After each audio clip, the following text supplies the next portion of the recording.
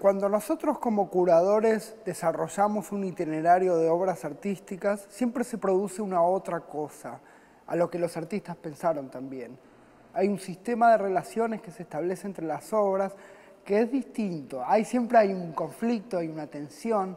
También hay una manera de potenciar esas obras en un recorrido que se propone, ¿no es cierto? Eso hay ahí una puja por el sentido que está en la operación curatorial. Eso es, fuerte. Yo y, Sebastián como curadores intentamos siempre que ese itinerario que nosotros producimos potencie los sentidos de las obras, genere otras relaciones. E inclusive uno toma obras que fueron expuestas de determinada manera en otros lugares y al resituarlas logra puntos de vista, perspectivas, lecturas que antes no estaban. Entonces cada exhibición es una oportunidad nueva para hacer legible la obra de otra forma.